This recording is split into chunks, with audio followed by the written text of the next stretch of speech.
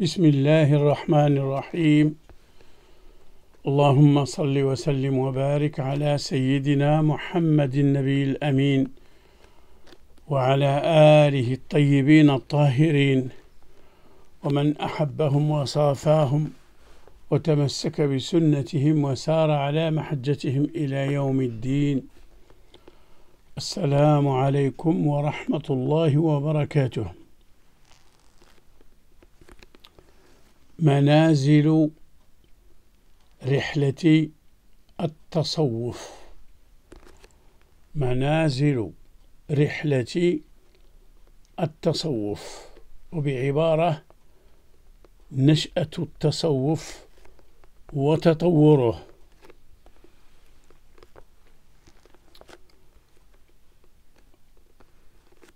ونبدأ بالتحذير الوارد في الكتاب والسنة. في القرآن الكريم وفي سنة رسول الله صلى الله عليه وسلم والتحذير مكرر.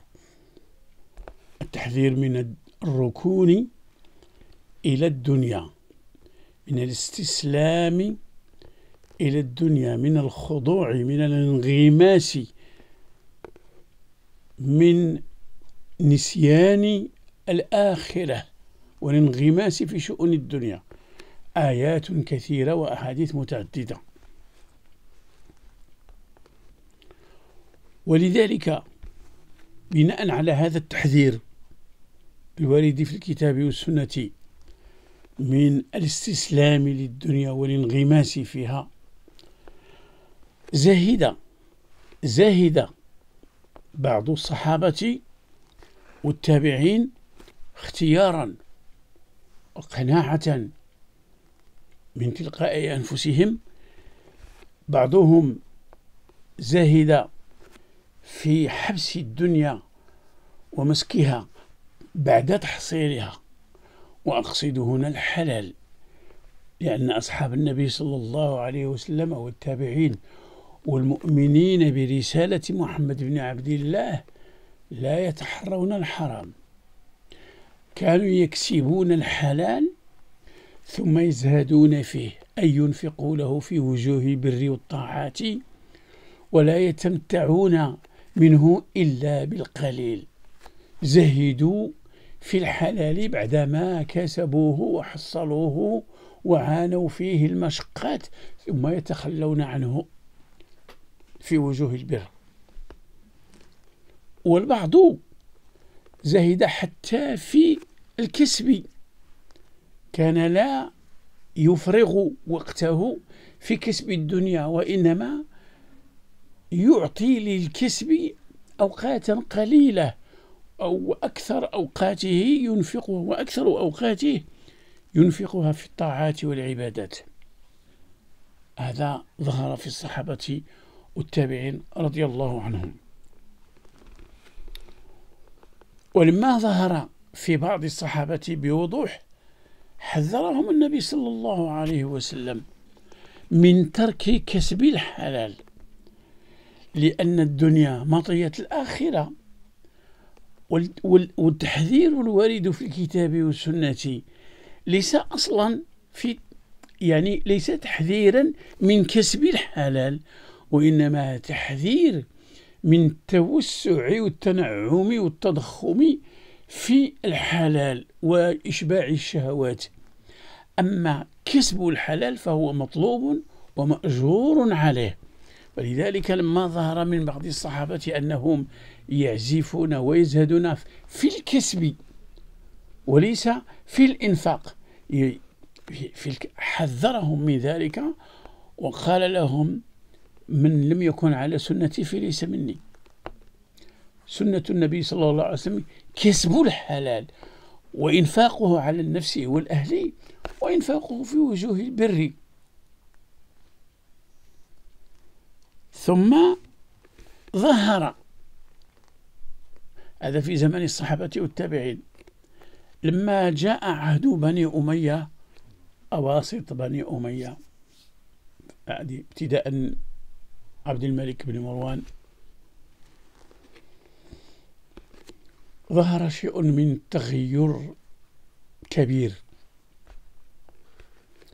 بالجملة إذا نظرنا إلى عهد النبوة والخلافة الراشدة نجد أن القيادات الكبرى والصغرى والأمة كلها تخدم الدين بالدنيا تنفق الدنيا لإعزاز الدين لإعلاء كلمة الله. هذا الشأن الظاهر المنتشر المعروف في عهد النبوة والخلافة الراشدة. بعد بداية الأولى لبني أمية انقلب الأمر فصارت القيادات كلها وأكثر الناس التابعين لبني أمية صاروا يسخرون الدين لإعزاز الدنيا ولترسيخ الدنيا. انقلب الأمر. هنا ظهر الميل. الناس على دين ملوكهم. ظهر الميل إلى الدنيا كسبا وجمعا. وتحصيلا واكتنازا بل وانتصارا. أخذت سلطات بني أمية تكتسب الأنصار بالدنيا وقد صرح بذلك سيدنا معاوية رضي الله عنه حينما قال كنت محبوبا عند قريش لأنني كنت أعطيهم ولم يكن علي محبوبا عند قريش لأنه كان يمنعهم. إذا صار طلب الدنيا كسبها وتحصيلها والتمتع والتمرغ والتقلب في نعيمها والانتصار والتقوي بها والإعزاز بها وصار الدين يسخر لنصرة الدنيا. في هذه الظروف فطن كثير من العلماء وتابعي التابعين لهذا الانحراف الذي بدأ أيضا وهذا المخالفة لما كان عليه العهد الأول. فظهر أيضا عزوف بعض العلماء وبعض العباد عزوف عن الدنيا أيضا كسبا أو إنفاقا. عزفوا عن كسب الدنيا. هذا. وعن التنعم وعن التوسع وعن آه، تلبية الشهوات.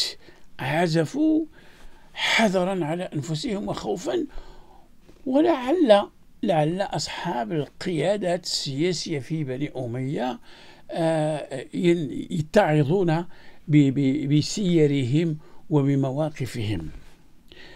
بعد هذا بعض أيضا علماء السلف لم يكتفوا بالعزوف وإنما أخذوا يوعظون ويوجهون وينصحون الأمة والقيادات السياسية ينصحونها بعدم الاستسلام للملذات والشهوات وبالتذكر تذكر المصير وبالإعداد ليوم الهول يوم الفزع الأكبر. فكان ك يعني يعني علماء مشهورون مذكورون. ربما سيأتي الوقت إن شاء الله لنذكر أسماءهم.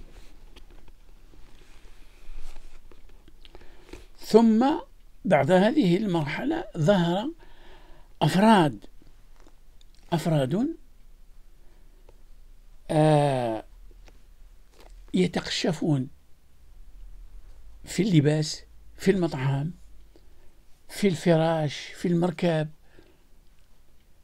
وصارت هو شأنهم صار هذا الأمر شأنهم الظاهر. كانوا أفرادا. ثم أخذ الآخرون يقتدون بهم ويتبعونهم فصارت فرقا. فرقا معروفة بالعزوف عن الدنيا لا كسبا ولا إنفاقا. خافوا هكذا يذكرون ويعللون أنهم خافوا على أنفسهم أن تستحوذ عليهم شهوات الدنيا. ثم إثر هذه ظهرت ظاهرة أخرى هي ظاهرة الهروب. الهروب من من سوق الدنيا. كما كنا نقول سوق الليل وسوق البيت البيت الحرام. ها سوق الليل ها الدنيا ها العبادة في بيت الحرام سوق الجنة. ها سوق الجنة ها سوق الدنيا. ها ظهر بعض الناس فروا أخذوا يهربون من أسواق الدنيا ومن نعيمها ومن لذائذها ومن معاشرة الأمراء ومن معاشرة الأغنياء وصاروا ينصرفون إلى بعض الخلوات وإلى الجبال والكهوف والصحراء يتحنثون أو يتعبدون كما كما كما بدا لهم أنهم يهربون من شرور الدنيا. بعد هذه المرحلة ظهرت أحوال غريبة في الفكر في التعبد في النسك في مفاهيم القربات والطاعات.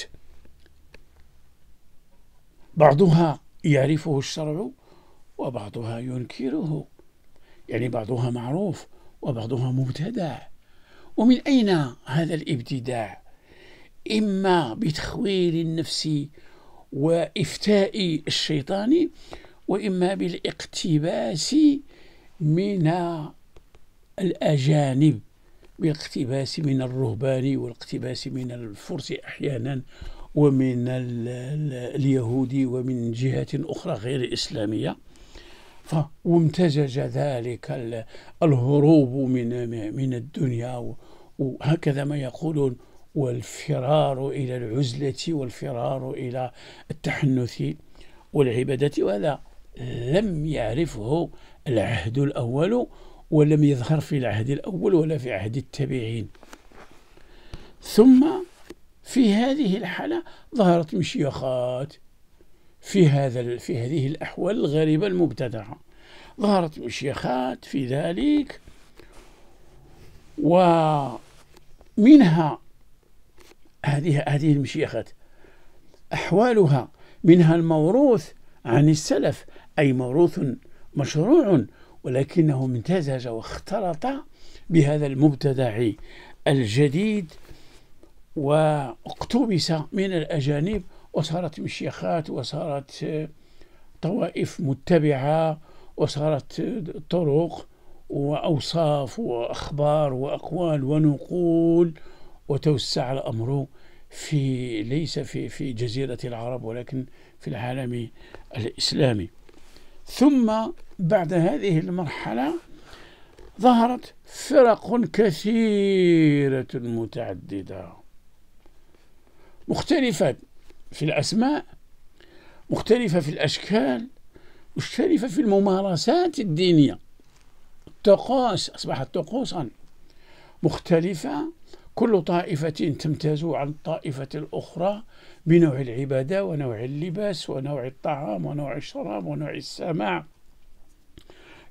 ثم تختلف أيضا قربا وبعدا من السلطة وإسهاما في سياسة السلطة وبعدا وحربا أو خوفا من السلطة ثم قربها وبعدها أيضا من صميم الإسلام من صحة العقيدة السليمة التي كان عليها الصحابة فأخذت هذه الطوائف.